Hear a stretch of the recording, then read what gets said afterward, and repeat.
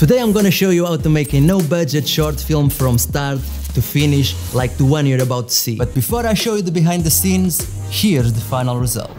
You know, they say that when you edit a photo that you captured, you can actually go back to the place where you took that photo and remember the feelings you've experienced during that day.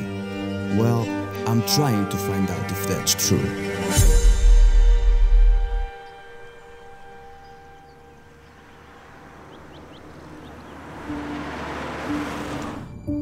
There is only one thing that gets me out of bed in the morning, and that's my freedom.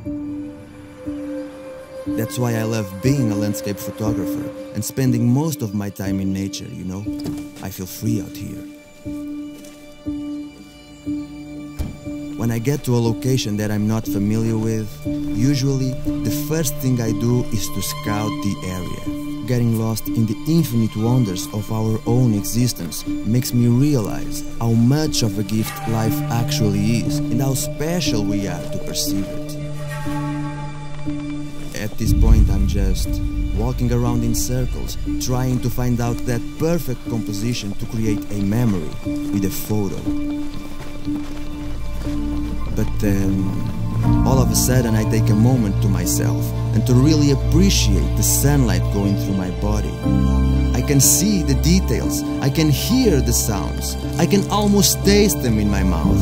And this is the time I feel most inspired to capture that feeling with my camera, and I start shooting.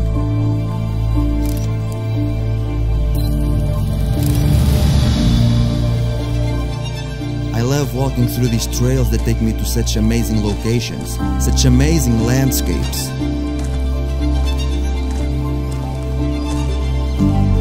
Unfortunately, there's a point when I realize that the sunlight isn't gonna last much longer, so it's time for one final photo before going back home. When that sunlight is going away and I see those beautiful colors of Mother Nature right before my eyes, the only thing that matters is to take a photo and make that beautiful moment eternal in my memory, and that is everything.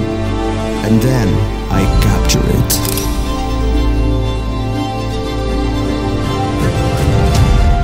You know, they say that when you edit a photo that you captured, you can actually go back to the place where you took that photo and remember the feelings you experienced during that day.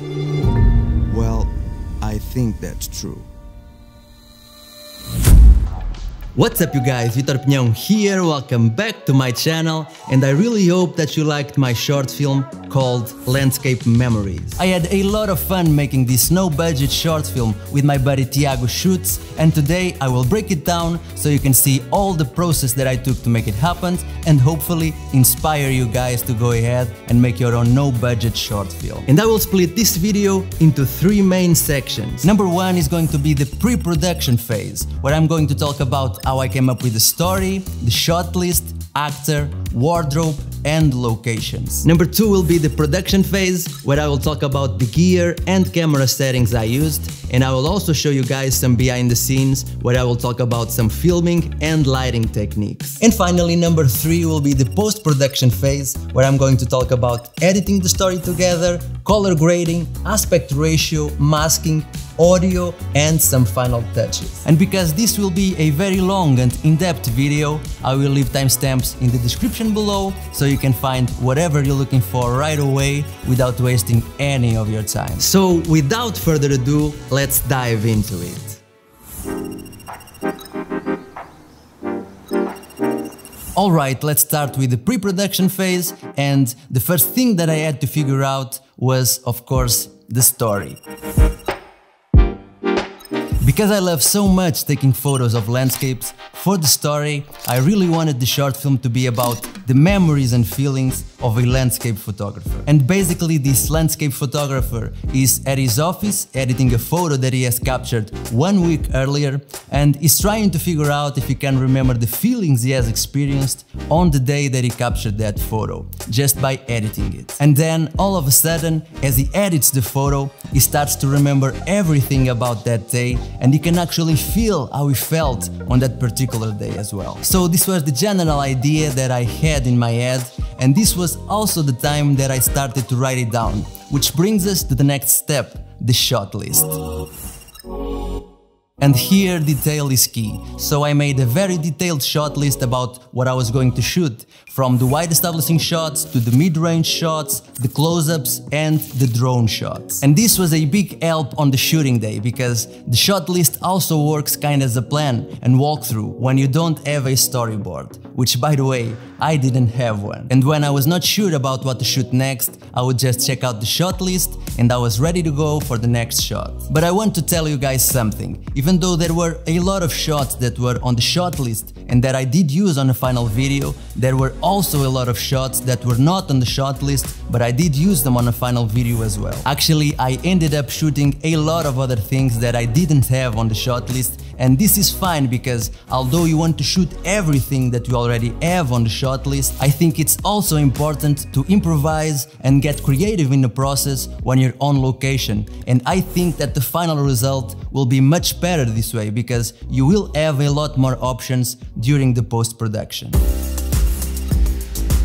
When I first came up with the story and the shot list for this short film, and because I would be the one shooting the whole thing, I needed someone to be the actor. And since Tiago and I have been friends for a long time now, and he's also very passionate about filmmaking and photography, I decided to send him a DM on Instagram asking if he wanted to make this short film with me, and guess what? He immediately said yes, so that was awesome. By the way, you should go ahead and subscribe to Tiago's channel that I will leave in the description below, so make sure you go give him some love.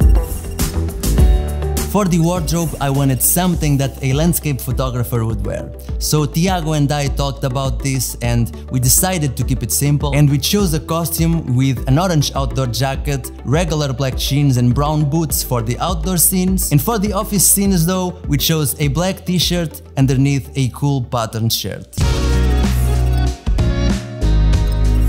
Because this short film was going to be about a landscape photographer, for the outdoor scenes I decided to pick a location in the mountains here in Portugal to really showcase the nature. This location is one hour far from where I live here in Portugal, but I knew that it would look very nice because it has areas with trees and also has areas with plain terrain. In this case, I already knew this location beforehand, but if you're planning to shoot your next short film, I definitely recommend you to go to the location and scout the area before you start shooting. Because this way you can plan your shot list much better and things will go a lot easier on the shooting day. For the office scene when he's editing the photograph, we actually shot it here in my office.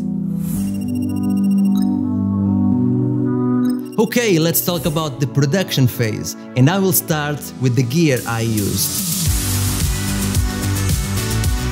So about the camera setup that I used to make this short film, the camera was the Panasonic Lumix GH5 which I used with my battery grip. For the lenses I used my Panasonic Lumix 42.5mm f1.7 with my 37mm variable ND filter from Polaroid, but I only used this lens for just one shot during the whole film. The main lens though that I used for 99% of the shots was the Sigma Art 18 to 35mm f1.8 EF mount which I used with my 72mm variable ND filter from Gobe. And to be able to mount my Sigma 18 to 35mm f1.8 on my camera, I had to use my Viltrox EF M2 Mark II speed booster for Canon EF mount lenses. The field monitor was the Andycine A6 and the microphone was the Deity VMic D3 Pro. The rig was the Half Cage from SmallRig and this is the version for Panasonic Lumix GH5 cameras with battery grip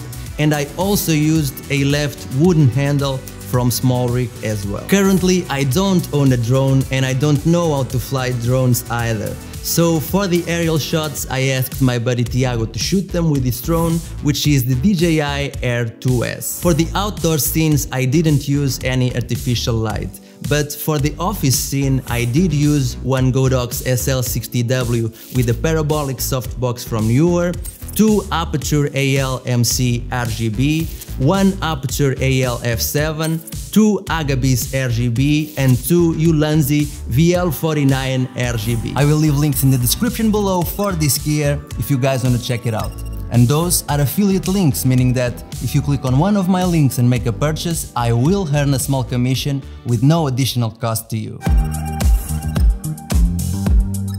Okay, the general settings I used was 4K, 10-bit, 422. I used my Panasonic Lumix GH5 custom natural profile with contrast at minus 5, sharpness at minus 5, noise reduction at minus 4, saturation at minus 2, and hue at minus 1. I shot most scenes at 24 frames per second with the shutter speed set at 1 50th of a second for the majority of the shots, although I also used 60 frames per second with the shutter speed set at 1 125th of a second for those nature b-roll shots. For the aperture I varied between f1.2 and 2.8 depending on the depth of field that I was looking for for each shot and for the ISO I varied between 200 and 400 depending on the exposure that each shot needed. And finally the white balance was set at daylight 5600 Kelvin throughout the whole shoot.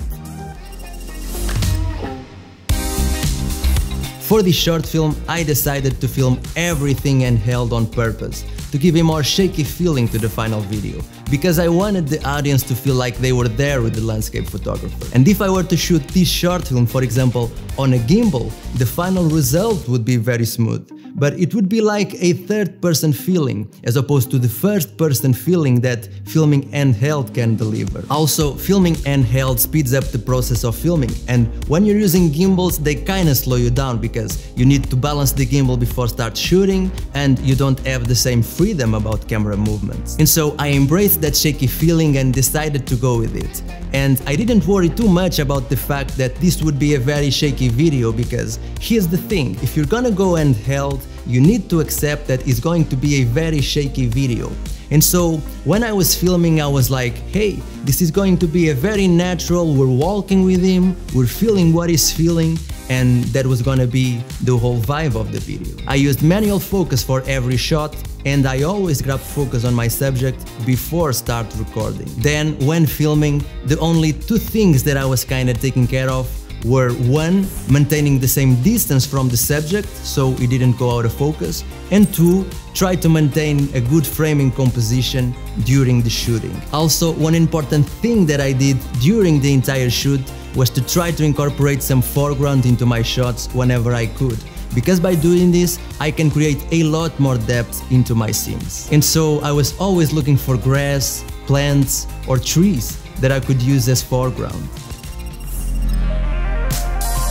Let's talk about lighting. For the outdoor scenes, I just used natural light and everything was shot early in the morning during golden hour. We actually woke up at 5 am to be able to arrive at location at around 6.30 am so we could have those nice colors and soft lighting during golden hour. For the office scene though, I did use some artificial lighting. So the main source of light was the sun coming from the windows, which was a big problem because I didn't have any artificial lighting inside the office in the first place. And when I tried to properly exposed the subject on camera, the windows were completely blown out. Because of that, I had to place some artificial lighting inside the office to counter the sunlight coming from the windows. And trust me, when you're trying to counter the sunlight, you will need a lot of artificial lighting. So that's what I did.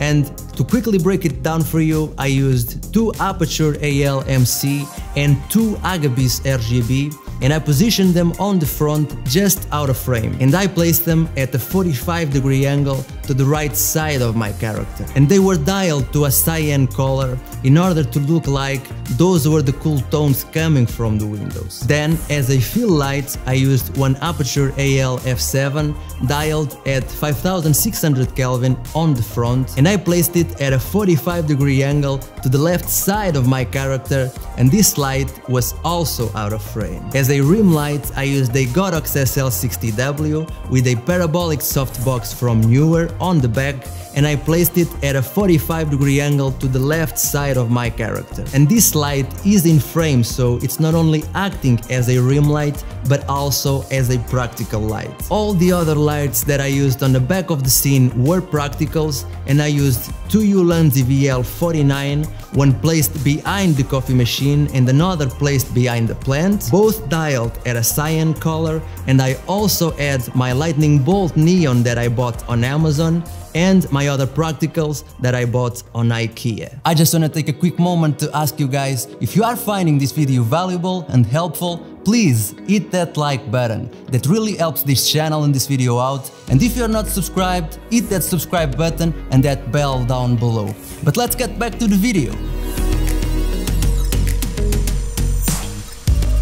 Alright, let's talk about the post-production process. And even though I already had an idea of what the basic structure of the story would be beforehand, the editing phase and when I was looking through the footage on my computer were the parts where I really put all the pieces together like a puzzle. And this was where the story really came up together.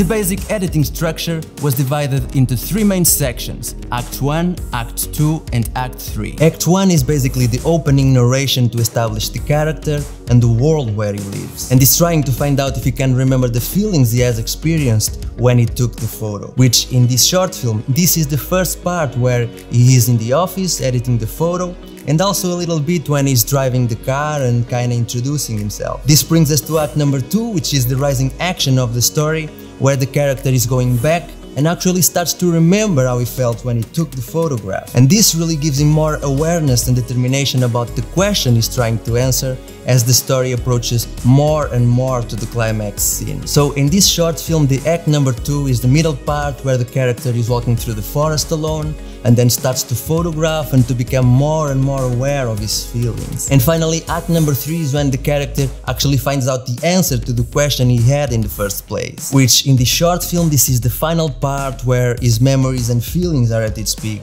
when he's on top of the rock taking his final photo. This brings us to the resolution, which is the point where he's at the office and he finds out the answer to the first question. And by using this editing structure, I was able to choose the right clips and put together a 24 frames per second sequence with a nice little edit that tells a story.